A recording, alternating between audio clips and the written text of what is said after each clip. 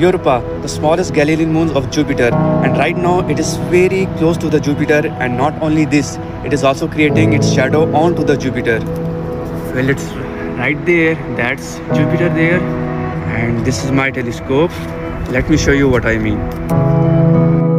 That's planet Jupiter, and can you see the small white dot just below the Jupiter near its cloud band? That's Europa moon and notice that there is a black dot to the left of this great red spot. That's a shadow of Europa.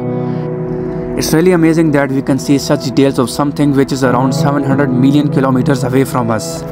And by the way the diameter of this great red spot is almost the diameter of earth. So imagine how huge this planet is. Let me reveal other Galilean moons by increasing the brightness. And there they are alright that's it for now. See you guys on the next one